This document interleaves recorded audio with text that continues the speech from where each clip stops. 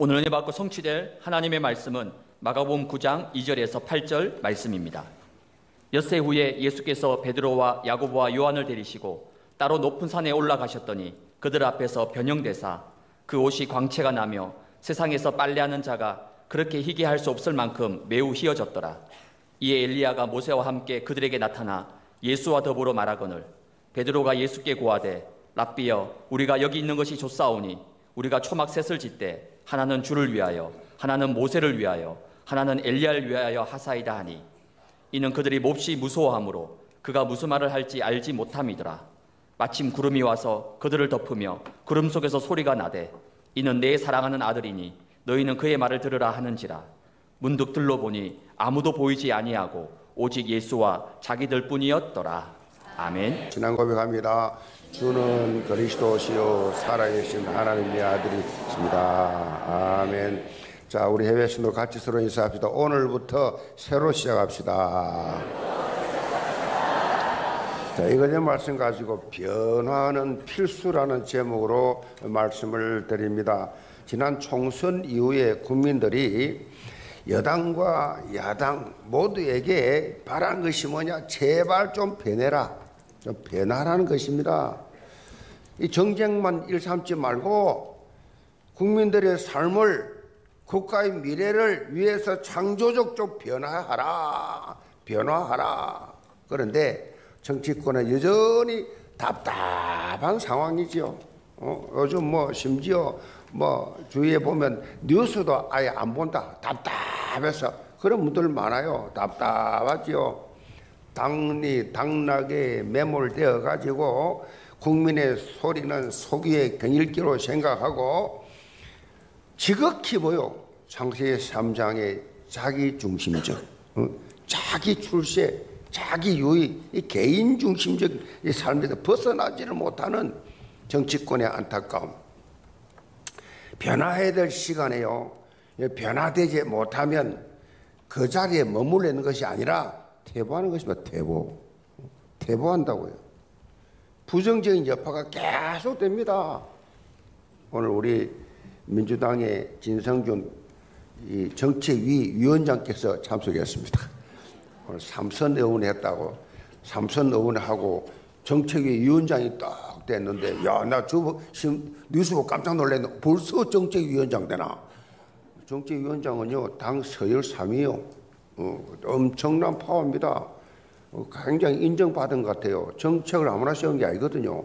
정책 그 머리 좋아야 돼요. 근데 오늘 오셔서 인사하길래 이걸 이 솔로몬 같은 지혜, 따입 같은 용맹, 요셉 같은 형통, with principle을 허락하여 주옵소서.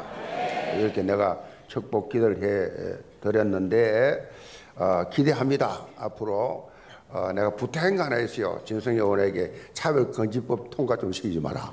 어? 이거 되면 이 보통 문제가 아니다. 이 지금 그럼 나뭐 설교도 못한다. 어? 예수만 군 있다. 이러면 이게 차별금지법에 걸려요. 어? 동성애자들이 와가지고 줄해 주세요. 남자 둘이 와고 결혼 줄, 결혼 줄여달 저 못합니다. 못하면 차별금지법에 걸려요. 벌금 내든지 가든지. 이렇게 되기 때문에 제가 부탁을 좀 했습니다. 아, 참 안타깝지요. 윤 대통령. 참 안타깝죠. 아, 정말 왜 저런지 모르겠어. 오늘 정치 이야기 좀 할까? 아니, 죽으면 죽으리라 각오를 가지고 최상병의 사건, 어? 김유사 사건 확 공개해가지고 교섭 가든지 말든지 국민 앞에 딱 내놨으면 국민들이 아, 지지가 지금 30% 이하예요. 이런 역사상 공화국, 육공화국 역사상 최저가 최저. 뭘, 뭘 그렇게 겁이 나서, 뭐가 그 두려워서 자꾸 숨기란 말이에요, 그런 거. 확 깨가지고 그냥, 어, 알, 알리고. 안 되면 내가 교섭하면 될 거 아니야? 대통령 정도 되면. 그런데 용기가 있어야지. 역대로 안 갔다 온 사람 없지만 거의 다 갔다 와야지. 그러니까 그런 식으로 했으면 얼마나 좋, 좋았겠냐 말이요. 어, 근데 다 답답, 뭐 대화한다는 게, 어? 아니, 그, 저 뭡니까? 한참 그 선거할 때 한동훈 그 유상대세 위원장이 그 저 김건희 여사 그거 해야 된다. 말 한마디 했다가 사표 내라. 곧곧 둘레 있는 그 비서실부터 그 둘레 있는 거 내가 저 다 잡아 죽여라 내가 그랬어요. 국민의 정서를 그렇게 모르냐? 어? 아부한다고 그 생명 오래 가냐? 다 잘리잖아요. 나라를 위해서 여러분 기도해 주시 기 바랍니다. 우리나라가 뭐가 있습니까? 반쪽아리에다가 시기 질투 그냥 절대 하나 되지 못하는 민족성에다가 기름 한 방울 납니까? 여기 무슨 지하 자원에서 뭐가 아무것도 없잖아요. 어떻게 이 나라가 세계 경제 대국 10위 안에 들어가면 사실상 제일 잘 사는 나라 된단 말이에요.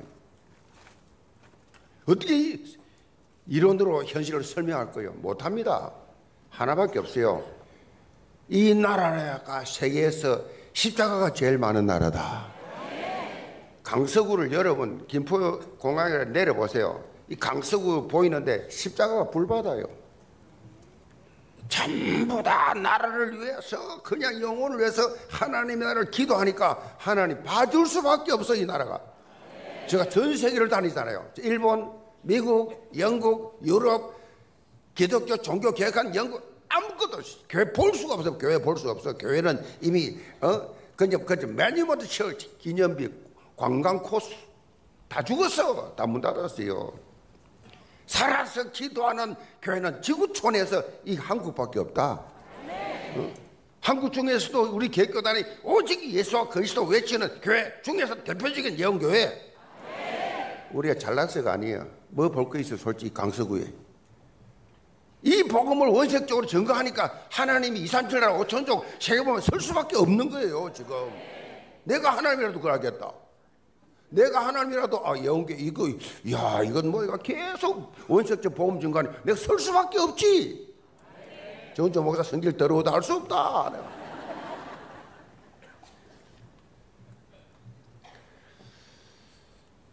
영적으로 마찬가지입니다. 사실 복음이 주는 가장 놀라운 축복이 뭐냐? 변화의 축복이에요. 변화의 축복. 복음은요, 변화를 약속하고 있습니다. 변화를 체험하도록 공개 제공을 하고 있어요. 이 복음은 단순히 지식적인 information이 아니에요. 정보가 아니에요.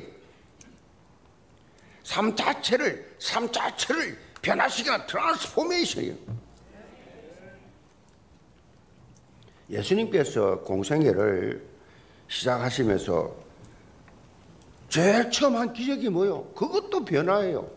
예수님 이 땅에 오셔서 공생애 딱 시작하시면서 서른 살에 딱 시작하시면서 제일 먼저 한 것이 변화의 기적이었어요. 어디서?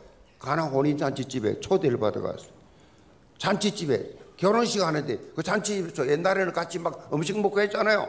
요즘 예시장에서 하지만 그때는 그 집에 가 잔치 초대받아 앉았는데 포도 한참 잔치가 막 그, 그렇게 막 흥이 겨워 하는데 포도주가 떨어졌어. 그 주인이 포도주 떨어졌다. 그렇게 말하다가 예수님께 부탁이라. 예수님이, 예수님이 포도주 주인도 아닌데 포도주를 문제 해결하랍니까? 예수님이 저 물을 떠서 갖다 줘. 연회장 갖다 주었더니 최고의 포도주. 물이 변하여 포도주로. 변화지요, 변화. 이 변화. 응? 질적 변화지요. 물이 포도주로. 질적 변화. 복음은요, 우리를 뭐요? 질적 변화시킵니다. 가까이 있던 사람이 몰라볼 정도로. 심지어 형제들도 못, 못, 못 느낄 정도로 완전히 변화시켜요. 사도 바울은 혼도후서 5장 17절에 이렇게 밝히고 있습니다. 그런 적 누구든지 그리스도 예수 안에 있으면 새로운 피조물이라. 아멘. 새로운 피조물이라. 이전 것은 지나가시는 보라 새 것이 되었다. 완전 새 것으로 바꿔준. 새로운 피조물로 변화된 존재가 바로 복음 가진 성도예요. 복음 가진 여러분이라고. 다른 사람 생각하지 마세요. 여러분 자신이라고. 그리고 여기 끝나는 것이 아니에요. 바울은 에베소 4장 15절에 오직 사랑 안에서 참된 것을 하여 범사에 그에게 까지 보여 잘할지라. 그는 머리니 곧 그리스도라. 자, 베드로도 베드로후서를 마무리하면서 이렇게 권면합니다. 오직 우리 주 곧 구주 예수 그리스도의 은혜와 그를 아는 지식에서 자라가라. 자라가라. 계속 자라가라고 말씀하고 있습니다. 바울도 베드로도 신앙이 자라가라. 성장해라. 신앙이 자꾸 작년보다는 올해가 올해보다 내년이 지난달보다는 이달이 지난주보다 이번 주가 계속 자라가라. 자라가라. 한마디로 신앙생활은요 영적 성장을 이루는 변화의 연속이 돼 계속 변화 매주 변화. 계속 변화의 연속 갓난 아이가 말이요 엄마의 젖을 먹고 자라는 것처럼 우리도 영적으로 예수님의 신령한 말씀, 신령한 젖을 먹으면서 자라가라.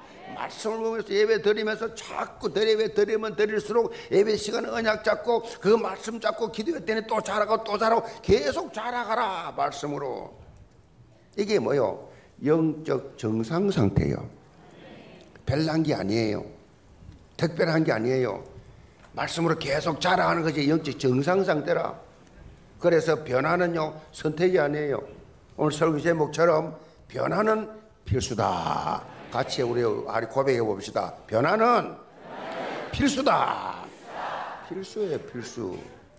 해도 되고 안 해도 되는 게 아니라고요. 필수라니까요. 뭐 여러분 자신이 내가 기도가 좀 변화됐나? 기도 내용이.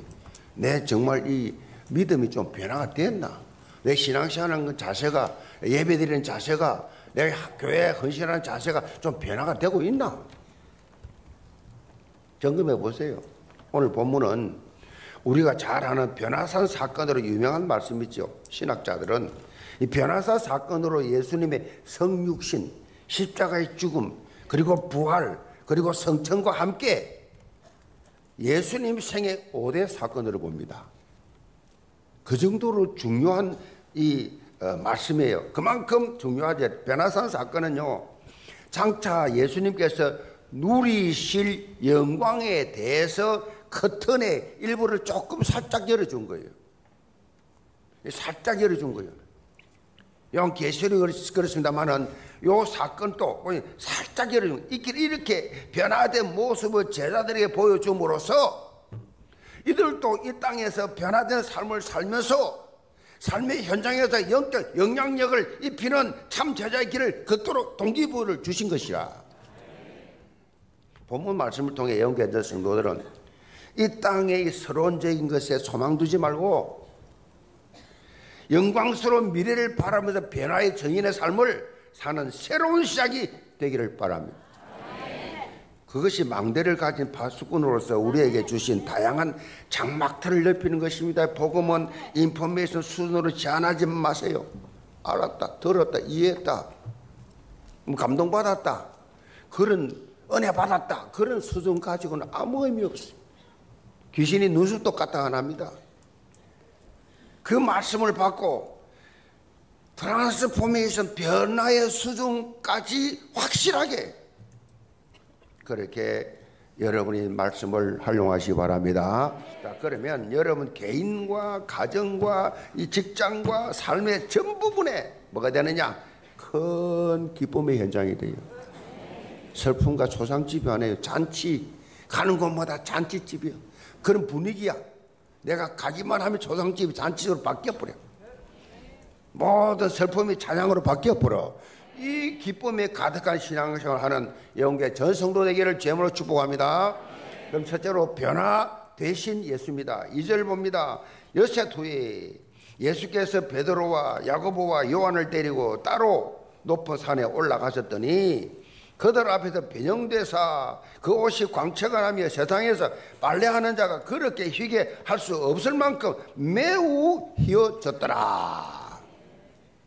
오늘 본문 이 시간표는 베드로가 주는 그리스도시요 살아계신 하나님의 아들이십니다. 고백한 지 6일 후에요. 그 고백한 지 6일 후에 예수님께서는 제자들 가운데 베드로, 야고보, 요한 예수님이 열두 제자 있는데 특별히 베드로, 야고보, 요한을 특별히 사랑했어요.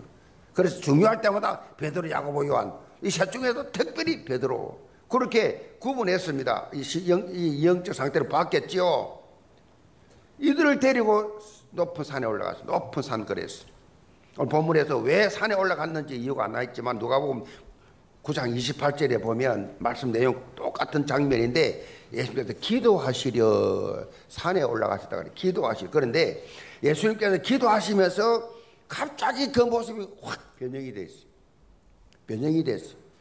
변형되다 이 말은 원어로는요 메테모르포데 메테모르포데 단순히 외형적 모습뿐만 아니라 본질적 형상으로 확 바뀌어 버렸어요. 순간적으로. 본질적, 하나님, 예수님이 누군가를 확 본질적으로 그 순간 변화되었습니다. 예수님의 신적 본질, 여기에 대해서 신비로운 계시, 이걸 변형이랍니다. 신비로운 계시로 확 변형되어 버렸어요. 마가는요, 예수님의 옷이 광채가 나며 세상에서 빨리 하는 자가 그렇게 희게 할 수 없을 만큼 매우 희어졌다 그랬어. 그러니까 마태는 예수님의 얼굴이 해갖고 그랬어요. 예수님의 그 변형된 예수의 얼굴이 해갖고 해같이 빛나고 있었다. 쉽게 말해서 지금까지는 제자들이 똑같은 지금 예수님과 똑같은 옷을 이스라엘의 옷을 그렇게 입고 이, 있는 예수님만 봤는데 지금 이 순간은 하나님의 나라에 예수님 계실 때, 계실 때의 그 영광스러운 모습을 순간 본 거예요. 빌리포 2장 6절에 보면 예수님은 원래, 원래 하나님의 본체라고 했어요. 하나님의 본체, 원래 가지고 계신 그 영광의 모습을 잠시 제자들에게 보여주었어요. 이렇게 영광스러운 예수님의 모습을 보여주신 이유가 뭐냐? 왜 예수님께서 이 영광스러운 모습을 계신, 계셨던 예수님이 왜 비참한 사람의 모양으로 나타나셨냐? 그러면 그 이유는 창세기 3장 사건 때문에 하나님이 창조는 아담과 하와가 사단에 속아가지고 하나님 앞에서 언약을 어기고 범죄함으로써 하나님과 끊어져 관계가 끊어져 사단은 소속이 되어서 사단은 받아가 영원한 멸망길을 갈 수밖에 없는 운명에 처해 있는 이 모든 인류 인간들을 해결하기 위해서 하나님이신 예수님이 인간 이 되어서 스스로 그렇게 죄인의 모습으로 오셔서 이 죄인인 인간을 해결하기 위해서 이 문제 해결해 주기 위해서 하나님 어려운 분이에요. 죄 꼬라지를 보고 있지 못해요. 절대 합리화하지 않아요. 해결해야 돼요. 해결하는 방법, 당신 스스로가 희생했어야 됐어요. 그것이 바로 그 방법이 십자가 대속이었어요. 자, 죄인된 인간을 대신했기 때문에 육신의 옷을 입고 와야 돼요. 사람이 돼야 돼, 사람이. 예수님 사람 아니에요. 근데 사람을 구원하셔서 사람이 돼야 돼요. 개미 구원하려면 개미 돼야 돼요. 사자를 구원하면 사자가 대화가 되지. 사람과 대화를 하기 위해서. 육신의 옷을 입고 오셔서 범죄한 아담의 후손이 아니라 범죄한 아담의 후손은 절대 하나님이 못 돼요. 구원자가 못 돼요. 그리스도가 못 돼요. 그래서 나머지 다 종교 다 거짓말이에요. 구원 없어요. 여자의 후손으로 성령으로 잉태하셔서 오셨다. 그리고 하나님의 방법이 십자가 대속의 제물에 대해서 그 죄, 죄의 대가는 피예요. 보혈이에요. 이, 이 피예요. 생명을 바쳐야 생명이 구원받아요. 피 흘리심으로 보혈 흘리심으로 우리의 모든 죄와 저주가 완벽하게 해결되셨다.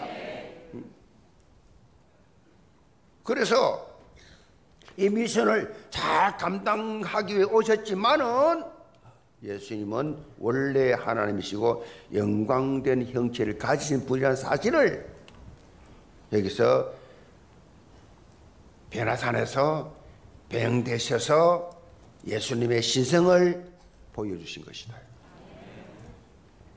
장차 십자가 사건 이후에 임하게 될 부활 성천 이 재림의 영광스러운 미래를 잠시 영화의 예고편처럼 잠깐 보여주셨다. 인류를 구원할 메시아 그리스도이심을 확인시켜 주셨다는 것입니다. 본문 7절에 보면 변화산에 하나님 임재를 상징하는 구름이 그들을 듣고 구름 속에서 이런 소리가 들렸어요. 이는 내 사랑하는 아들이니 너희는 그의 말을 들으라. 마치 예수님께서 공생의 사역을 공식적으로 시작하실 때 세례 요한에게 세례를 받고 일어나 올라올 때 물에서 나오실 때 하늘로부터 임했던 음성과 동일한 음성이 이것은 바로 예수님이 인류를 구원하러 오실 메시아 그리스도이심을 확인시켜 주신 것이다. 무엇보다 예수님 예수 그리스도의 변화는요 제자들에게 큰 용기와 소망을 주었어. 이 변화된 모습 보고 그 용기를 주기 위해서요. 왜냐? 앞으로 이 제자들이 걸어가야 할 길이 가시밭길이요. 앞으로 이 제자들이 당신의 뒤를 따라가야 되는데 그 들은 복음을 전해야 되는데 그 길이 죽음의 길이요. 그것을 감당할 수 있는 힘을 주기 위해서 베드로를 비롯한 제자들이 예수님의 성천 이후 사역하면서 고난과 역경과 죽음의 위기 가운데 처했을 때에 이 장면을 생각하라고 영광스러운 예수의 모습을 상상하라고 그걸 믿으라고 너희들도 나처럼 되니까 사도행 12장에 보면요 이 베드로가 복음을 전가하다가 이제 잡힙니다 헤롯 왕 때에 잡혀가지고 감옥에 갇혔습니다 내일 사형을 당합니다. 이미 요한은 목이 잘려서 사형 순교 당했습니다. 이제 베드로 차례입니다. 베드로가 이제 순교를 당해야 되는데 베드로가 다음날 순교 다음날 사형이요. 그런데 감옥에서 태연히 잠을 자고 있었어. 어느 정도 잠을 깊이 잤냐? 천사가 와가지고 옆구리 쳐가 깨울 정도로.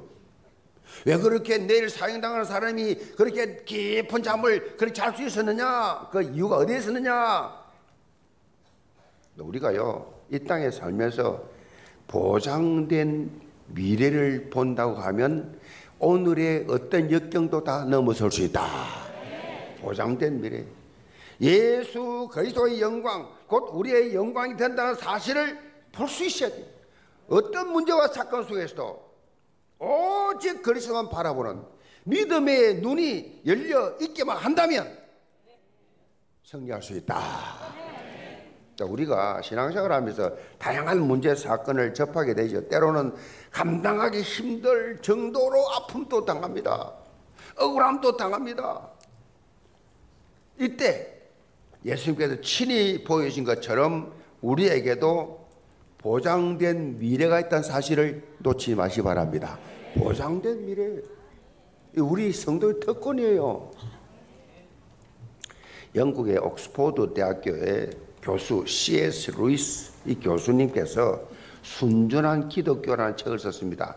이 책에서 이런 말을 했어요. 그리스도인들이 내세에 대해 생각하는 것을 대부분 중지했기 때문에 그들은 이 세상에서 아주 무력해졌습니다. 천국에 초점을 맞추십시오.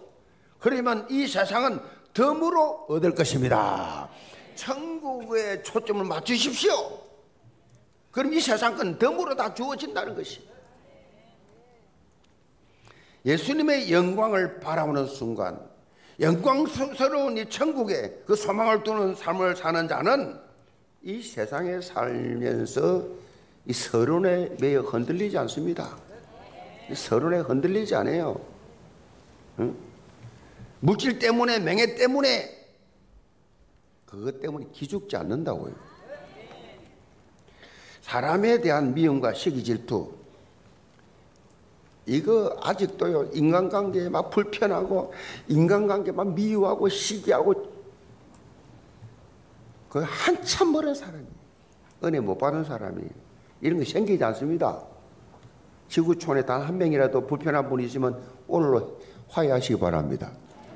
그 씹고 씹고 또 씹고 어 밤새도록 씹어가 말 건데 위궤양 오요 위궤양 당뇨병 온다 당뇨병 아시겠어요? 몸에 좋은 거 하나도 없어요. 외무사하시고 화해하시고 성경대로만 생각하면 엄청 건강하게 평생 39자로 산다. 어, 성도 여러분, 예수님께서 변화산에서 제자들이 주셨던 이 분명하고 참 소망의 메시지를 여러분 붙잡고 오늘부터 서론 인생이 아니라 본론 인생을 사시기를 주님으로 축복합니다.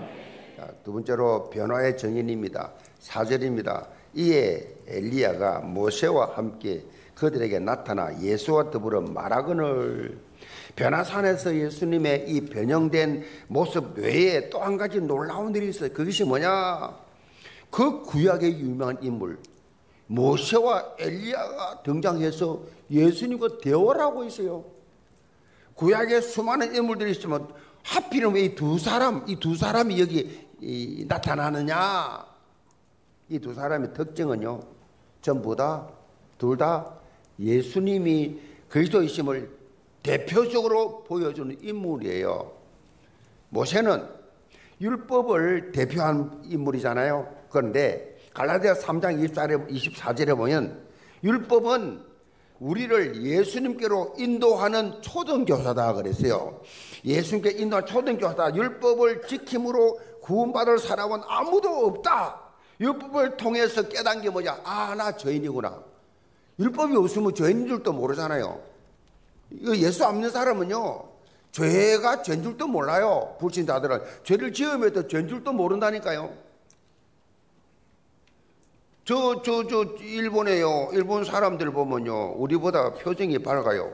우리 한국 사람이 표정이 제일 무서워요. 지구촌에서. 늘 인상 쓰고 다녀요. 거의 다 그래요. 심각해요. 지금 뭐 철학자라고 그렇게 늘 심각해.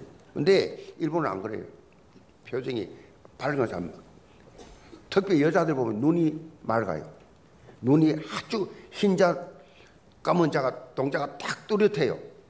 왜 저러냐? 저 사람들은요, 집집마다 우상 준비합니다. 동네마다 절간이 있어요. 신사가 다 있다고. 800만 귀신 성깁니다. 근데 그게 전주를 몰라. 전주를 몰라. 우리나라는요, 십자가 불 받아라. 교회 안 다니면 제가 전주를 좀 알아.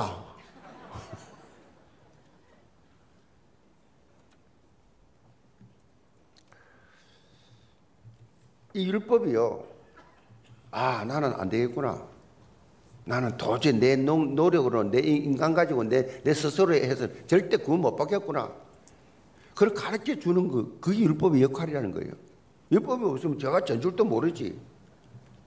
우리가 죄인인 줄 깨닫고 결국 우리의 모든 죄 문제를 해결할 수밖에 해결할 수 있는 길은 예수 그리스도 뿐이구나. 예수를 그리스도로 믿고 그분 앞에 나오는 것이 구원의 길이구나. 그분을 영접하는 것이 내가 사는 길이구나. 그거 말하는 것이 율법이에요. 그걸 모세가 이 율법 가지고 사명을 그리스도가 아니면 안 된다는 사실 알려준 것이다. 그 다음에 이 엘리야는요, 선지자들이 한 예언의 핵심은 장차 오실 예 메시아 예수 그리스도 이 엘리야로 엘리야가 선지자 대표잖아요. 대표. 이 선지자들 한 것이 뭐냐? 장차 인류를 구원할 메시아가 온다. 그리스도가 온다. 메시아는 히브리 말이 그리스도는 헬라 말이요. 그러니까 같은 말이요. 그리스도 인생 모든 해결할 자가 온다. 그거 한 거예요. 결국은 이 두 사람은 예수가 메시아 그리스도이심을 증거하는 인물들이어서 그런데 이런 영적 의미를 발견하지 못한 베드로가 또 돌출 발언을 합니다. 5절입니다. 베드로가 예수께 고하되 라비어 우리가 여기 있는 것이 조상오니 우리가 초막 셋을 짓때 하나는 주를 위하여 하나는 모세를 위하여 하나는 엘리야를 위하여 하사이다 하니 자 오늘 본문은 아주 핵심만 표현하고 있는데 누가 보면 구장에 똑같은 장면이 나오죠. 전후 사정이 나와 있습니다. 이들이요 예수님하고 기도하러 어, 갔죠. 예수님 기도하러 가자 산에 따라갔는데 기도 예수님 기도하시는데 이 제자들 자서요 졸았다 그랬어요. 다 졸았어요. 다 졸아버려요. 졸다가 눈 떠 보니까 이상한 현상이 나타난 거요. 꽉 놀란 거요. 이상한 장면을 목격한 겁니다. 졸다가 꿈에도 생각하지 못했던 모세와 엘리야를 보게 되니까 적극적으로 졸다가 깨가지고 여기가 조사원이 베드로 성격이 좀 그래요. 여기가 조사원이 하면서 예수님과 모세와 엘리야를 위하여 초막샷을 짓고 아예 여기서 삽시다. 참 베드로 재밌는 절에 되면 곤란해요. 아, 여기가 조사원이라고 하는 이 표현을 우리 잘 알아야 돼요. 이 표현 자체가 신앙생활을 막는 결정적 표현이에요. 이런 사람 신앙 안 잘합니다. 이런 사람 하나님 안 씁니다. 여기가 조사원이 이만하면 됐다. 그냥. 우리끼리 잘, 우리끼리 잘 하면서, 우리끼리 행복하게, 우리끼리. 응? 이 237 다민족 시대 우리 민족끼리. 웃기고 있네. 길거리에 지금 다민족이 깔려 있는데 다민족 없이는 아무것도 할 수 없는 농사도 못 짓는데 지금. 우리끼리 어디요 우리끼리가? 237 종족 전 세계가 지금 하나 돼 이런 상황인데. 여기가 조사원이 우리끼리 가만히 있는 것은요 결코 복음의 본질이 아닙니다. 복음이란 것은요, 확산돼야 돼요, 확산. 어? 확산돼 가야 돼요. 복음은 계속 움직여야 돼요. 복음은 전진해야 됩니다. 복음 가진 자는 변화의 증인이 돼야 돼요. 변화, 변화, 교회가 자꾸 변화돼야 돼요. 음? 변화 보고 좀, 좀 뭔가 좀 잘못됐거든. 안 맞으면 시대 안 맞으면 빨리빨리 고치고 빨리 변화되고 지금 일청 지금 100명이 들어와서 커피 마시면서 교제할 수 있도록 지금 당장 변화됐잖아요. 어? 스카이 아웃도어도 빨리 지역 사람들, 이방인들 와서 아이들이 와서 같이 거기서 같이 어? 복음 들을 수 있는 이 불신자들이 교회 발을 디디고 와서 교회 안에 저기를 또 모래 들어와서 좀 젖어 가도록 빨리빨리 경신 변화돼야 되잖아요. 변화의 정인들 되시 바랍니다. 변화돼 변화 새롭게 날로 새롭도다. 변화 변화. 우리가 지금 펼쳐나가고 있는 이 스타트 2025 운동 변화의 정인으로서는 통로가 되기 바랍니다. 여기 참석하면 변화가 되게 됐어요. 교회 장막터를 피는 3.1조 운동, 3.1조가 돼가지고 봉음운동하는 장막터를 넓히는 4천망대 운동, 237의 장막터를 넓히는 237 치유 운동, 골육의 장막터를 골육전도 운동, 골육전도 5를 맞이해서 가정의 달 맞이해서 골육 장막터를 넓히는 이 사역에 더 집중해 보시기 바랍니다. 이 교회 안에 말이 골육전도 됨이 있으니까 적극 활용하시고 어? 우리 청년들이 보니까 아까 뉴스 나왔잖아요. 주보도 나 보세요. 청년들이 몇 명이 간증했습니다. 골육전도. 아, 그 저 전라도로, 저 강원도로 그냥 막 지방에까지 찾아가가지고 팀을 이루고 가가지고 3일조 회가 가가지고 그 차 타고 가가지고 부모들이 영접시키고 말이에요. 어? 이게 놀라운 일 아닙니까? 어? 청년들이 말이에요. 청년들이 하는데 나이 많은 여러분들은 왜 끄떡도 안 하고 가만히 앉아있어요? 얼마나 살겠다고. 부모는 조금 지옥 가는데 내 체면 때문에 내 자존심 때문에 우리 집 오픈 안 하겠어. 쪽팔려. 우리 집 너무 창피해서 못해. 다 지옥 가든 말든지 난 모르겠어. 나만 천국 가면 됩니까?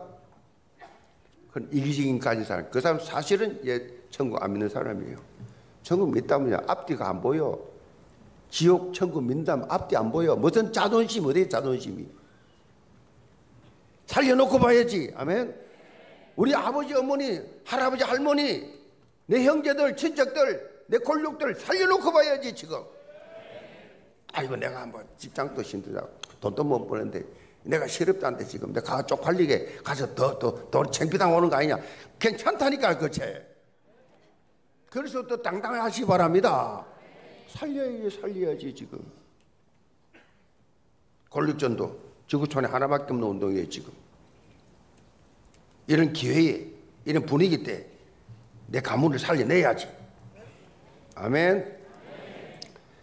적시로 수주가 적시로. 오늘 당장 시작하시라고. 전화라도 걸어가지고 우리 권력 전도팀 보내겠다. 어? 접수 딱 해버리고 어디 어디 어디 보니까 막 지방이 주로 다 지방이야. 어른들 다 지방 계시지. 영적 식업성을 가지고 권력 복음화의 응답을 사실적으로 체험하는 예언계의 모든 성도들 다 되기를 주임으로 축복합니다. 결론이 세계적인 문호 돌스토이 당시 러시아 기독교의 무력함을 보면서 이런 글을 썼습니다. 기독교인들은 세상의 변화를 위해서 기도한다. 인류의 변화를 위해서 기도하고 있는 사람들이 적지 않은 것 같다. 그런데 자신의 변화를 위해서 기도하고 있는 사람은 그렇게 많지 않는 것 같다. 이런 말을 했어요. 러시아 기독교인들이 영적 영향력을 입히지 못하고 무력하게 무너졌던 이유를 정확하게 본 것입니다. 변화의 시작은 나부터예요. 나요, 나. 핑계 대지 마세요. 나부터라는 사실을 절대 놓치면 안 돼요. 나부터 변화돼야 돼요. 그 핵심 방법이 다 주어졌습니다. 그것이 바로 3집중, 3세팅, 3응답의 영적 비밀 누려라. 7망대, 7여정, 7이정표 오늘 주부에 나와 있습니다. 보시면서 그대로 기도하시 기 바랍니다. 그리고 매주 이런 3집중, 3세팅, 3응답 이것들 계속 용어들을 해석하는 것들을 매주 주보에 실어줄 거니까 그, 그거 잡고 기도하면 돼요. 3집중은 아침, 낮, 저녁 뭐요? 기도 리듬 타는 겁니다. 기도. 기도, 기도. 아침에 일어날 때 기도. 낮에 일하면서 잠깐 기도. 밤에 잠자기 전에 기도. 하나님 아버지 앞에 아멘. 이렇게 기도 리듬 타란 말이에요. 칠망대 칠여정 칠이정표를 따라 가는 기도. 성삼위 하나님이 나와 함께 하신 하심으로 보좌의 축복을 오늘도 누는 하루가 되게 도와주옵소서. 나는 하나님 할 수 없습니다. 시공은 응답의 축복을 나려 주옵소서. 이 삼진의 빛이 비치는 하루가 되게 하여 주옵소서. 그리고 삼세 띵 현장에 변하는 영적 비밀 여러분이 복음의 비밀을 누리고 있으면 그 현장이 뭐야 플랫폼이 되고 파수망대가 되는 어? 이 교회, 교회도 마찬가지예요. 그리스도의 빛이 확 밝게 드러나게 되면 어둠에 있던 영혼들이 차, 찾아오게 되고 자연스럽게 영적으로 소통하는 안테나 역할을 교회가 하게 된다. 그 자리에도 어버이절 막 여기 어르신들 2,200명이 와서 함께 막 축제를 했다 그래요. 강서구에서 조치해가지고 성전들을 받고 갔으니 그 사회 보내서 보는 보는 그 분이 막 예원교회에 나와서 신앙생활하고 진성이도 와서 막 예원교회 나 예원교회 좋다고 막 진성 가수도 기독교인이니까 그렇게 많이 피아를 해줬다 그래. 내가 화면을 보니까 전부 다 막 7, 80, 뭐 90 그렇더라고. 곧 갈 분들이야 다. 한 분이라도 듣고 가라는 얘기지. 삼응답은 예수가 그리스도 인생 모든 문제 해결자 되시다는 복음의 맛을 보는 것입니다. 문제 답이 있고 위기는 기회고 갈등을 갱신으로 바꾸는 모든 것을 합력해야 설리르신 하나님을 신뢰해라. 실제로 랩너트들이 요셉이 삼지중, 삼세팅, 삼응답의 영적 비밀을 가지고 세계 살렸잖아요. 여기 모든 성도들 시대적으로 주신 언약 비밀을 누리면서 24 누리고 내가 변하고 현장이 변하고 정말 교회가 변하고 아멘. 그래서 변화의 정인들 다 되시기를 주님으로 축복합니다. 기도합시다. 아버지 하나님 영계 모든 성도들 복음 들었습니다. 이 능력 있는 복음 내가 붙잡고 변화가 필수라는 사실을 깨닫고 먼저 변화되게 하여 주옵소서. 변형되신 예수님을 본받아 모두가 변화의 정인들이 다 되게 하여 주옵소서. 이 나라의 규정자들에게 변화의 능력을 허락하여 주시옵소서. 우리 영계 모든 성도들 랩너들까지 다 말씀을 듣고 말씀 따라 변화되어가는 성장하는 자라가는 자들 다 되게 하여 주옵소서 예 소선 받들어 기도합니다 아멘